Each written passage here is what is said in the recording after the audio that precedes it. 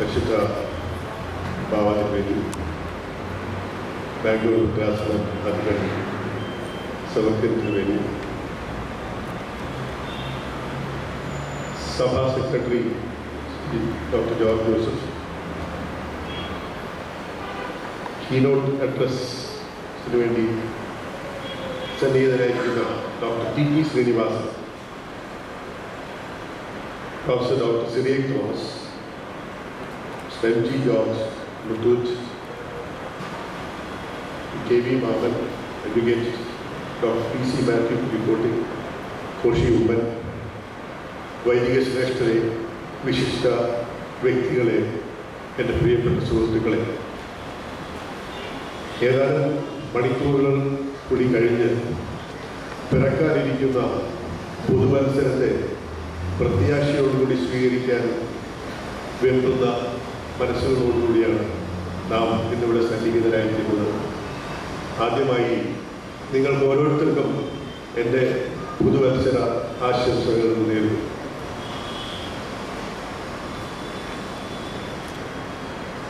സഭയുടെ ആത്മാ ആത്മായ നേതാക്കളെ ആദരിക്കുകയും അവരുടെ സ്മരണ നിലനിർത്തുന്നതിന് വേണ്ടി ഇതുപോലെയുള്ള സമ്മേളനങ്ങൾ നടത്തുകയും ചെയ്യുന്ന ചെയ്യുന്നതിന് തീരുമാനിച്ച നമ്മുടെ സഭ നേതൃത്വത്തെ ഈ അവസരത്തിൽ ഞാൻ അഭിനന്ദിക്കുകയാണ്. കാരണം ഇന്നത്തെ നമ്മുടെ സഭയുടെ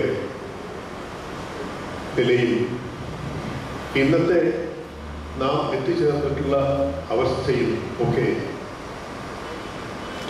ധാരാളം നമുക്ക് പേര് പോലും അറിയാൻ പാടില്ലാത്ത പല അൽമായ വ്യക്തികളുടെയും പ്രയത്നത്തിന്റെ ഫലമായിട്ടാണ് എന്നുള്ളതിന് യാതൊരു സംശയവുമില്ല.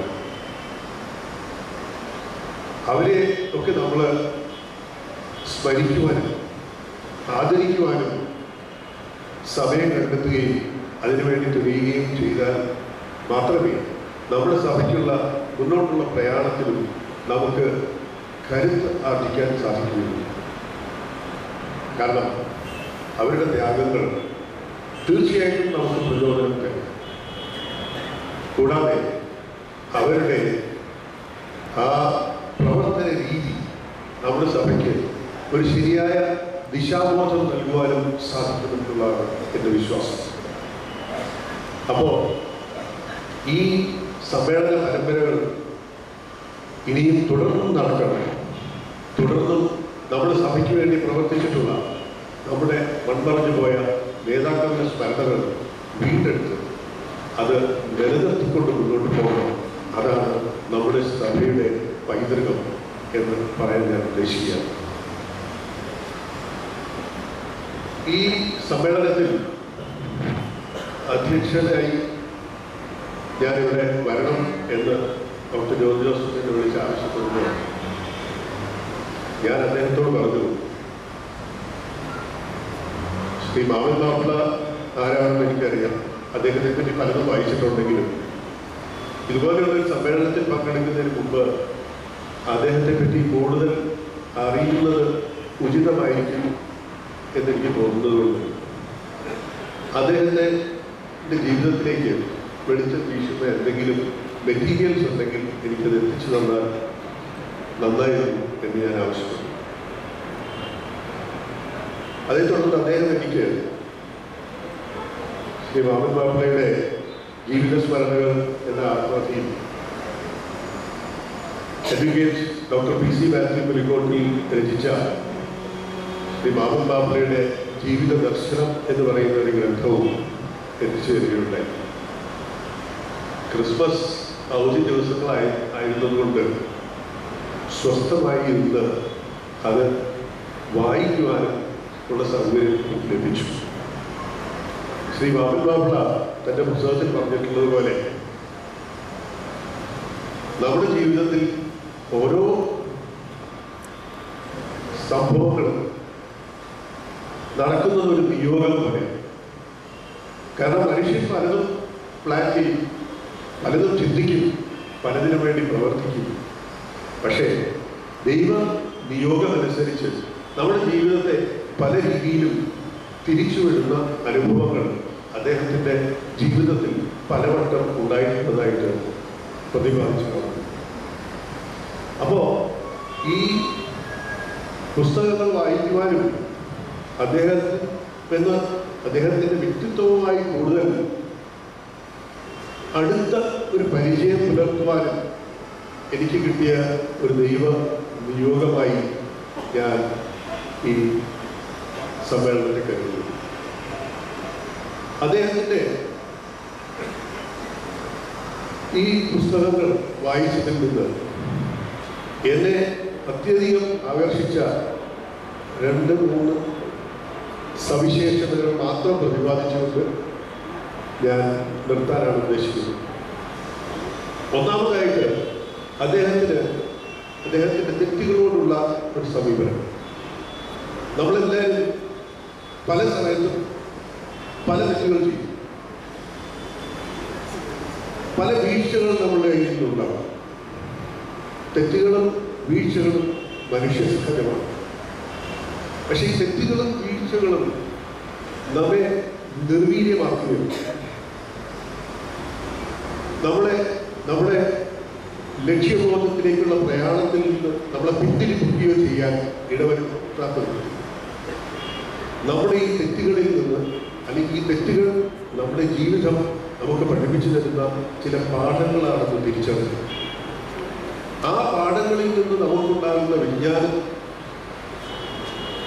നിന്ന് ഊർജം ഉൾക്കൊണ്ടുകൊണ്ട് നമ്മുടെ ലക്ഷ്യത്തിലേക്ക് കൂടുതൽ കരുത്തോടുകൂടി കുതിക്കാൻ സാധിക്കുന്ന ഒരു ആറ്റിറ്റ്യൂഡ് ഒരു മാനസികാവസ്ഥ അത് വളർത്തിയെടുക്കേണ്ടത് വളരെ അത്യാവശ്യമാണ്. അദ്ദേഹം പല പ്രതിസന്ധികളിൽ കൂടി കടന്നു പോയിട്ടുള്ള ഒരു വ്യക്തിയാണെന്ന് നമുക്ക് എല്ലാവർക്കും അദ്ദേഹത്തിന്റെ പല സ്ഥാപനങ്ങളും അടച്ചുപൂട്ടപ്പെട്ടു. അദ്ദേഹത്തിന്റെ പത്രം തന്നെ അടച്ചുപൂട്ടി സ്ഥിതി ചെയ്യുന്നുണ്ട് അദ്ദേഹത്തിന് ജയിൽവാസം അനുഭവിക്കേണ്ടി വന്ന അവസരങ്ങളിലുമൊക്കെ അതിലൊന്നും നിർവീര്യമാകാതെ വീണ്ടും മുന്നോട്ട് തന്നെ പ്രയാണം ചെയ്യാനുള്ള ആ നിശ്ചയദാർഢ്യം അത് എത്ര പ്രകീർത്തിച്ചാലും മതിയാവാത്ത രണ്ടാം രണ്ടാമതായി ഞാൻ വളരെയധികം ശ്രദ്ധിച്ച ഒരു വസ്തുത. അദ്ദേഹം പല മേഖലകളിൽ വ്യാപരിച്ചിരുന്ന ഒരു വ്യക്തിയായിരുന്നു എന്നുള്ളൊരു സവിശേഷത. അദ്ദേഹം ഒരു ബിസിനസ്സുകാരനായിരുന്നു. അദ്ദേഹം ഒരു സാമൂഹിക പ്രവർത്തകനായിരുന്നു. അദ്ദേഹം ഒരു പത്രപ്രവർത്തകനായിരുന്നു. അദ്ദേഹം ഒരു രാഷ്ട്രീയ പ്രവർത്തകനായിരുന്നു. ഈ മേഖലകളിലൊക്കെ ഒരേ സമയം വളരെ സജീവമായി വളരെ പ്രവർത്തിക്കുവാൻ അദ്ദേഹത്തിന് കഴിഞ്ഞു എന്നുള്ളത് വളരെ അധികം എടുത്തു പറയേണ്ട ഒരു വസ്തുതയാണ്. താൻ പ്രവർത്തിച്ച മേഖലകളിലെല്ലാം തന്റെ വ്യക്തിമുദ്ര ഫലിപ്പിക്കുവാനും തന്റെ തനതായ പ്രവർത്തന ശൈലി കൊണ്ട് മറ്റുള്ളവരുടെ പ്രശംസ പിടിച്ചു പറ്റുവാനും അദ്ദേഹത്തിന് കഴിഞ്ഞിരുന്നു എന്നുള്ളത് വലിയൊരു കഴിവാണ് അദ്ദേഹത്തിന്. അദ്ദേഹം പ്രാധാന്യം കൊടുത്തിരുന്ന ഒരു വ്യക്തിയായിരുന്നു എന്നാണ് ഞാൻ മനസ്സിലാക്കുന്നത്. പക്ഷേ എന്നാൽ അദ്ദേഹത്തിന്റെ സൗമ്യ സൗമ്യമായ പെരുമാറ്റം അദ്ദേഹത്തെ ആർക്ക് വേണമെങ്കിലും എപ്പോൾ വേണമെങ്കിലും അപ്രോച്ച് ചെയ്യുവാനും അദ്ദേഹത്തിന്റെ മുമ്പിൽ പ്രതിസന്ധികളുമായി എത്തുവാനും അദ്ദേഹവുമായി സംസാരിക്കുവാനും ഇടപെടുവാനും അദ്ദേഹം അവസരം കൊടുത്തിരുന്നു. അങ്ങനെയുള്ള ഒരു വ്യക്തിത്വം അദ്ദേഹത്തെ സമൂഹത്തിൽ തന്നെ വളരെയധികം പ്രിയങ്കരനായ ഒരു വ്യക്തിയായി മാറ്റി മാറ്റിയിരുന്നു അദ്ദേഹം എന്ത് ഏത് മേഖലയിൽ പ്രവർത്തിച്ചു പ്രവർത്തിച്ചിരുന്നപ്പോഴും അദ്ദേഹത്തിന് മുതൽക്കൂട്ടായിട്ട് ഉണ്ടായിരുന്നത് അദ്ദേഹത്തിന്റെ ആത്മാർത്ഥതയാണ്.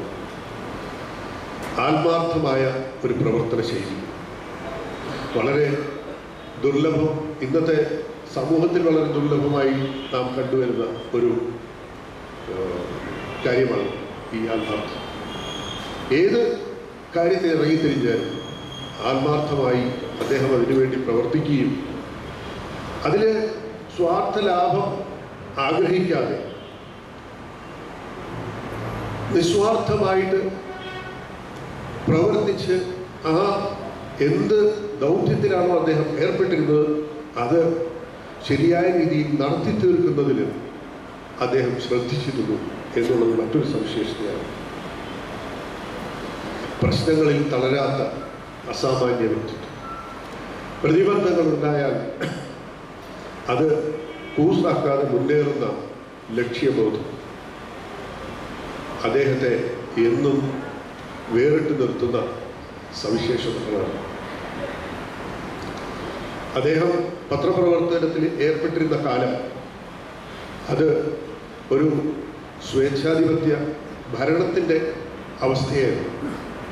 ഇന്ന് നമുക്കെല്ലാവർക്കും പത്രസ്വാതന്ത്ര്യം എന്ന് പറയുന്നത് സുപരിചിതമായിട്ടുള്ള ഒരു സംഗതിയാണ്. നമ്മുടെ സംസാര ആവിഷ്കരണ സ്വാതന്ത്ര്യവും സംസാരിക്കാനുള്ള സ്വാതന്ത്ര്യവും ഒക്കെ ഇന്ന് ഭരണഘടന നമുക്ക് വ്യവസ്ഥ ചെയ്ത് നമുക്ക് അവകാശമായി തന്നിട്ടുള്ളതാണ്. പക്ഷെ അന്നത്തെ കാലത്ത് അതൊന്നും ഇല്ലായിരുന്നു. ആ കാലത്ത് പോലും ഈ പത്രപ്രവർത്തനത്തിന് വേണ്ടി പോരാടുകയും അതിനുവേണ്ടി തന്റെ താൻ വിശ്വസിച്ചിരുന്ന മൂല്യങ്ങളെ മൂല്യങ്ങളിൽ നിന്ന് വിട്ടുവീഴ്ച വരുത്താൻ കൂട്ടാക്കാതെ എന്ത് ത്യാഗങ്ങളും സഹിക്കാൻ തയ്യാറാവുകയും ചെയ്ത ഒരു വ്യക്തിത്വമായിരുന്നു അദ്ദേഹത്തിന്റെ. പത്രത്തെ അദ്ദേഹം വാർത്തകൾ സമൂഹത്തിലേക്ക് എത്തിക്കുന്നതിന് വേണ്ടിയുള്ള ഒരു മാധ്യമമായിട്ട് മാത്രമല്ല കണ്ടിട്ടുള്ളൂ വിജ്ഞാനം പ്രചരിപ്പിക്കുന്നതിന് വേണ്ടി സമൂഹത്തിന്റെ ഉന്നമനത്തിന് വേണ്ടി അറിവ് മറ്റുള്ളവരിലേക്ക് എത്തി എത്തിക്കുന്നതിന് വേണ്ടിയും ഉള്ള ഒരു ഒരു മെത്തേഡായിട്ട് അദ്ദേഹം അതിനെ കണ്ടിരുന്നു. അതുകൊണ്ടാണ് അദ്ദേഹം പല ലേഖനങ്ങളും അതിൽ മലയാള ലേഖനങ്ങളിൽ കൂടി എഴുതിയിരുന്നു എന്നാണ് ഞാൻ മനസ്സിലാക്കുന്നത്.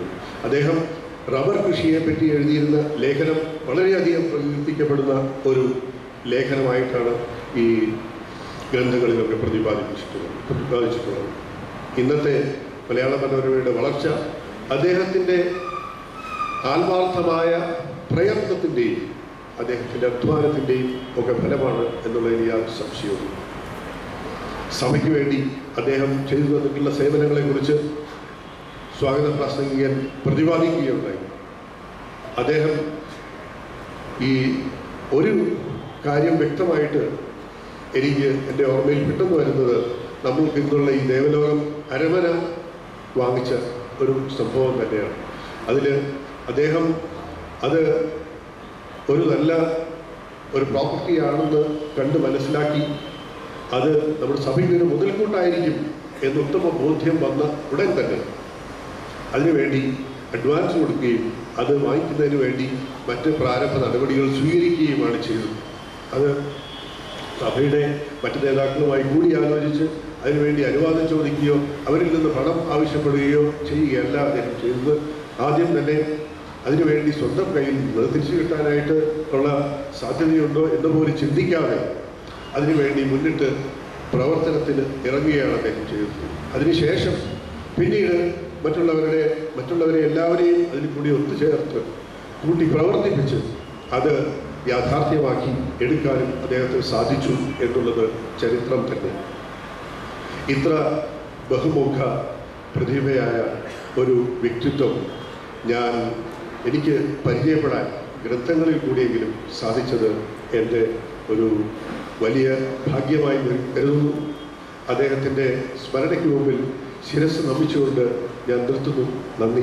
നമസ്കാരം. പരിശുദ്ധ കാതോലിക്